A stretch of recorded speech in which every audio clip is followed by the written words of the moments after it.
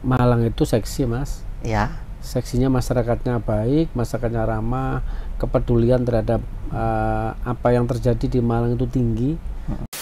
Kita pernah di angka 6 itu di tahun 2010 tapi komanya masih 20 kita sekarang ke 32 Ya, menaikkan dikit 0, itu agak susah dalam uh, sebuah pertumbuhan ekonomi yang mohon maaf kami susah banget saat itu. Satu kata untuk Malang itu Ya. Malang hebat Halo pemirsa di Harian Surya Tribun Jatim Network. Berjumpa lagi dengan saya Adrianus Adi Nugroho. Hari ini kita kedatangan tamu yang sangat spesial dan cukup dikenal di masyarakat yaitu Bapak Wali Kota Malang Sam Sutiaji.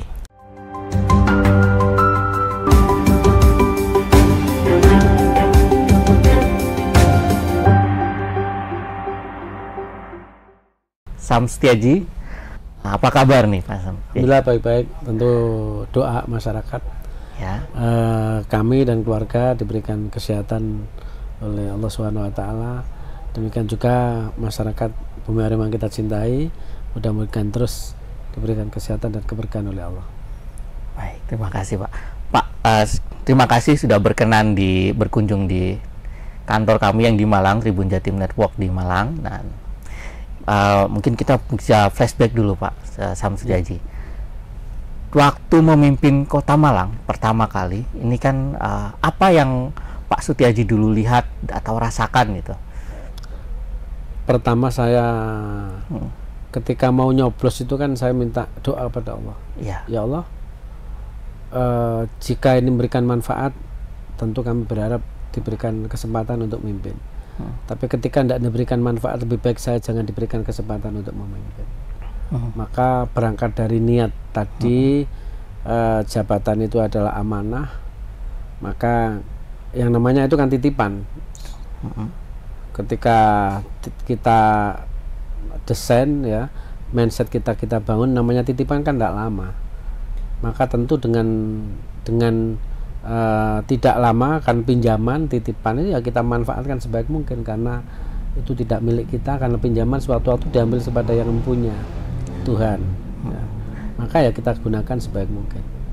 Kalau lihat kondisi Kota Malang dulu di ketika Pak Sutiaji memimpin dan sekarang ini apa perbedaannya Pak waktu itu yang saya kira eh, Malang itu seksi mas. Ya seksinya masyarakatnya baik, masyarakatnya ramah, kepedulian terhadap eh, apa yang terjadi di Malang itu tinggi, sehingga saya kira enak siapa pun yang memimpin ke depan diberikan kesempatan, saya kira dengan potensi yang dimiliki oleh karakter-karakter yang dimiliki oleh warga Malang itu saya kira enak semua, oke. Masyarakatnya enak gitu. ya kemudian eh, selama kepemimpinan Pak Sutiaji ini kan ada eh, wabah besar nih COVID-19 ya Pak Sutiaji cuma 2002 ini sur- 2022 ya. ya 2022 itu survei indeks ekonominya itu meningkat sampai 6 Iya, tepatnya 6,32. 6,32 persen. Ya. Nah, ini rahasianya apa nih Pak? Rahasianya nih. Eh gini, jadi saya kira juga ketangguhan masyarakat Kota Malang dalam menghadapi situasi yang susah. Ya. Jadi pada waktu tahun 2020 ketika ada Covid itu kami minta memang teman-teman Mm-mm. untuk melakukan survei demand apa yang mengalami penurunan dan demand apa yang mengalami kenaikan. Saya minta dari mana dari eh, sistem kasir itu ngambil sampling 500 sekian dan di sana ditemukan bahwa ada ternyata di COVID itu ada demand yang mengalami peningkatan sampai 123 persen. Nah setelah itu apa demandnya adalah demand eh, eh, frozen yang berbasisnya e-commerce. Jadi oh ternyata krisis yang terjadi itu tidak bisa ketemunya antara konsumen dan produsen Ya. karena covid tadi. Benar. Jadi tidak bisa face to face maka eh, berbarengan dengan itu kami di tahun 2018 awal sampai 2019 di kami dengan eh, peta yang kami lakukan peta jalan itu roadmapnya salah satu di antaranya adalah ada Malang 4.0 jadi digitalisasi kita kuatkan. Akhirnya itu yang kita kuatkan kesiapan masyarakat untuk beradaptasi dengan COVID. lingkungan ya. Kok saat ini covid maka kita tidak bisa bertemu tapi tidak tidak ada yang eh, menghalangi kita tidak bisa sampainya barang. Maka kan sekarang banyak transportasi online ya ngirim tidak ya eh, pesen gitu langsung dikirim dan seterusnya. Itu yang kami kuatkan. Sehingga alhamdulillah di tahun 2020 2020 kami hanya terkontraksi di min 2,26 pertumbuhan ekonomi. 2024 eh 2021 kami sudah bisa merangkak naik di angka 4 persen koma sekian. Dan 2022 kita alhamdulillah tertinggi memang di wilayah Jawa Timur ini kita masuk di bawah Surabaya sedikit Iya. jadi 6,32 persen melebihi angka pertumbuhan ekonomi nasional dan Jawa Timur Dan itu angka yang tertinggi selama sewindu ya. lebih mas Lebih ya. Jadi saya tracing itu kita pernah di angka 6 itu di tahun 2010. Tapi komanya masih 20. Kita sekarang ke 32. Itu. Menaikkan dikit 0, itu agak susah dalam uh, sebuah pertumbuhan ekonomi yang mohon maaf kami susah banget saat itu. Ha-ha. Karena ini adalah krisis kita tahu saat ini aja krisis makro ya. Iya masih. itu masih di luar negeri sana banyak negara yang sudah kukut ya inflasinya naik dan itu alhamdulillah kita mampu bangkit. Iya ini berarti memang kekuatan ekonomi masyarakatnya Ya. juga sudah mulai terbentuk. UMKM kita UM kuatkan mas. UMKM-nya yang Ya, yang kuat. kuatkan. Ini dari makanan pak ya. Ya, Nah, kemudian yang menarik juga Pak selama kepemimpinan Pak Sutijadi itu ada banyak tempat-tempat baru. Salah satunya tempat Malang Creative Center. ya. Kemudian ada kawasan kayu tangan Ya. gitu. Jadi kayak melengkapi apa yang sudah ada di Kota Malang, kemudian Ya. melengkapi uh, komunitas ini. Nah, Jadi gini mas, idenya gimana itu? Ah, kita tidak bisa namanya membangun membangun eh, gedung itu mem, ah, gimana ya memberikan literasi mempercayakan orang kan memang susah mas. Mm-mm. Kalau gedung untuk apa kan itu? Mm-mm. tapi itu tidak eh, instan mas jadi kami bangun eh, ekosistemnya dulu enam tahun kita bangun terus selesaian saya ngobrol dengan teman-teman kita perlu co-working space oke A B C udah setelah itu udah ini gimana nguatkan seperti ke- ketika eh, dan eh, sea- se- seakan ini gayung bersambut ketika kami dilantik saya dapat pesan dari Pak Gubernur Pak Dekarwo dulu ketika itu bilang gini PR-nya adalah untuk pengangguran terbukanya tinggi.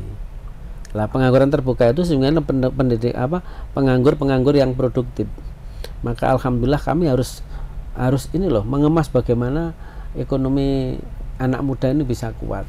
Dan alhamdulillah di tahun 2022 ini satu tahun itu ada seribu sa- seribu tiga ratusan lowongan kerja bagi anak muda yang terisi sekarang pertumbuhan ekonomi kreatif kami dari angka 4 ya Benar. persen menjadi itu 10 kenaikannya signifikan dan ini ada benang merahnya pertumbuhan ekonomi eh, per- eh, pengangguran Terbuka. pengangguran terbuka kami akhirnya juga Turun. turun kita sudah di Jawa Timur ini di angka eh, di urutan ke 5 atau 7 gitu itu Lima. artinya berarti ini ibaratnya orang sakit tuh sudah tesanya sudah bisa ditemukan sekarang Oke. treatmentnya ini salah satu di antaranya kami bangun itu mas lah kalau untuk eh, kawasan kayu tangan Ya. yang saat ini juga lagi lagi banyak digemari orang Ah, ya. Ini ada juga dari provinsi mau mengadakan kegiatan skupnya nasional di Oh. Kota Malang. Ada ada lagi kegiatan juga di Malang. Terus ada nanti yang kalau tidak salah kemarin udah disurvei animator-animator di dunia Iya. ya ketepatan yang menjadi yang menjadi tuan rumah itu di Asia itu kan nggak tahu kok dia tertarik dengan kawasan di dalam kayu tangan ya itu bisa aja karena masyarakat kota Malang mas. Karena yang viralkan masyarakat kota Malang kalau di awal rata seandainya oh gimana? Ada pernak-pernik setuju enggak itu kan dinamika. Wajar mas. Justru kami menebeng ketika dimasalahkan. Ini ya itu karena kepedulian saudara kita karena kepedulian masyarakat kota Malang eh, supaya jauh lebih bagus ya mesti harus di, dikritik gitu. Benar. Pak, uh, ada nggak sih Pak ketika membangun Malang Creative Center atau ketika membangun uh, studi ke kota, Wah, kota lain? Tentu mas. Gitu. Jadi Tapi, kami belajar dari kota-kota hmm. yang lain, ya uh, ternyata memang kami pakai teori komunikasi, teori hmm. teori ini mah ekosistem mas. Hmm. Jadi orang itu kalau saling ketemu ngobrol pada satu titik ini kemudian disiplin A, disiplin B, disiplin C punya kekuatan digabung ini. Hmm. Saya punya keyakinan itu. Sehingga 17 subsektor di ekonomi kreatif yang ada di mana?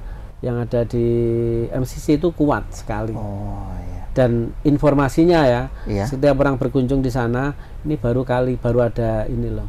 Baru, baru ada. di Indonesia baru ini loh ya ada gitu. Baru. Jadi terbangun ekosistem yang bagus dan uh, saya pasrahkan semua pada anak muda, Mas. Hmm, oh. Mulai dari desainnya itu ya hmm. anak-anak sendiri. Ini lantai satu guna untuk apa, lantai dua untuk apa, lantai tiga hmm. dan seterusnya itu adalah saya serahkan sebenarnya untuk anak uh, kepada teman-teman karena mereka yang menempati, mereka yang ke depan, hmm. insya Allah yang bertanggung jawab ya ada teman-teman. Oke, Pak. Kemudian uh, dengan adanya ini kan Malang udah mulai terbangun dengan sangat baik nih Pak. Harapannya itu apa sih Pak untuk Kota Malang dan masyarakatnya ini Pak? Yeah saya teruskan tadi yang untuk ya. kayu tangan juga demikian belajarnya ya. dari belajar dari tetangga dari ya.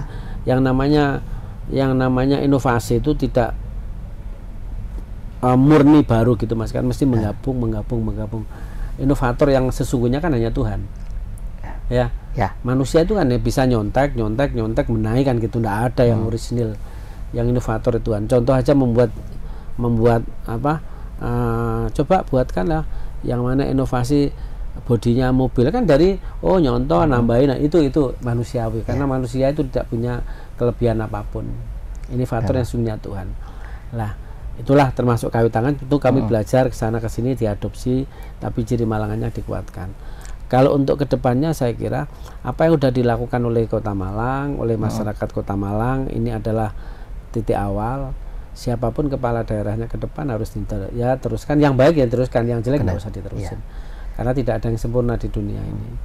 Jadi karena ini institusional jangan berubah terus kan. Dan ini yang kami kuatkan. Sehingga kami pun kemarin berkunjung di saat kami dipilih saya juga berkunjung ke kepala daerah kepada daerah terdahulu uh, silaturahim uh, bulan Ramadan juga apa bulan Syawal itu hmm. juga keliling ya.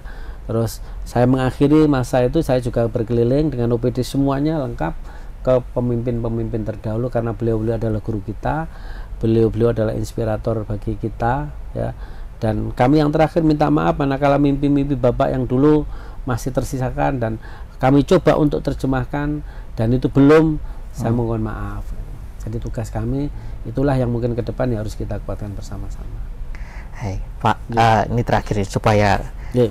uh, anak-anak muda sekarang tuh senang ngomong gini uh, Pak ada nggak kata-kata untuk kota Malang Pak nah Kota Malang ya. itu adalah jadi satu kata untuk Malang itu ya. Malang hebat. Malang hebat. Ya. Baik. uh, demikian teman-teman pemirsa di Tribun Jati Network wawancara kami dengan Wali Kota Malang Sam Sutiaji gitu. Mungkin ada yang mau disampaikan lagi nggak cukup, Pak? Cukup. cukup. Baik, terima kapan, kasih. lagi aja. Ini kan uh -uh. saya terburu waktu. Benar. Jadi yeah. Sam Sutiaji ini hari ini ada banyak sekali agenda dan yeah. kami beruntung hari ini kami disempatkan untuk dikunjungi oleh beliau. Baik, demikian wawancara eksklusif kami. Sampai jumpa, sampai jumpa bertemu, sampai bertemu di program-program kami berikutnya. Terima kasih.